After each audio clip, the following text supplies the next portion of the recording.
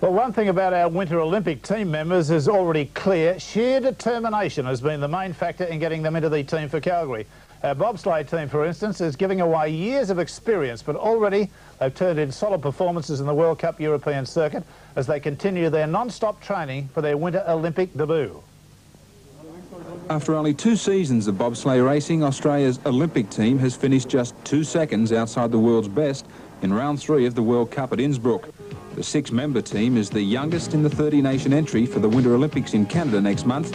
And following the World Cup performances, team captain Adrian Di Piazza says they won't be in Calgary just to make up the numbers. We're slowly building into a really competent and competitive unit. Uh, you can't just uh, fit a whole lot of guys and throw them into a sled and expect them to, to be competitive. It takes time, and uh, this team, the base of it now, has been together for two seasons. Uh, we're all working and getting better and stronger, and our, our start times and our down times have improved markedly from last year to this year.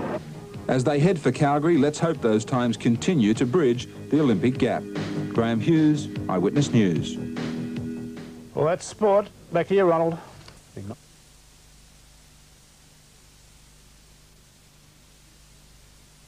After years of practicing with a makeshift sled in a Sydney car park, the Australian bobsleigh team is finally making its mark where the action is, in the European Alps. In the World Championships, underway on the Austrian ski fields, the Aussies are showing some of the world's best what they can do. The competition is a warm-up for the Calgary Olympics next month. In this round, their time was only two seconds behind the winners. It's a sport filled with its share of thrills and spills, and every now and then, some embarrassing moments. Despite a valiant attempt to regain his lost pride, this Soviet competitor was fighting a losing battle.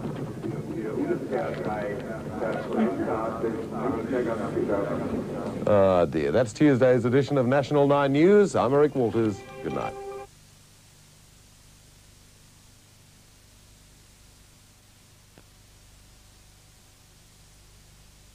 Next month's Winter Olympics will provide the stage for a remarkable success story.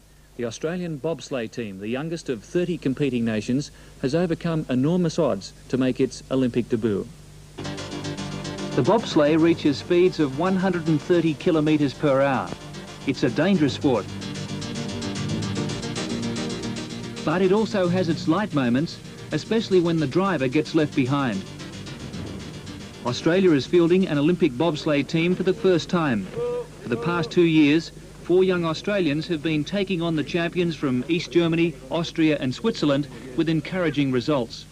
At this early stage of development, medals are out of the question. Competing and performing well at Calgary is the motivation. Uh, hopefully we can get both A1 and A2, the two two-man sleds, into the top two-thirds of the field. Uh, if we can get a similar result for the Australia One four-man sled, uh, we'll be very happy. Uh, that's our goal, to finish about two-thirds of the way through the field. If we finish a bit higher, that'll be a bonus. The Australians are currently preparing for the European Championships in Sarajevo. After that, it's the Winter Olympics, and for them, a tiny slice of history.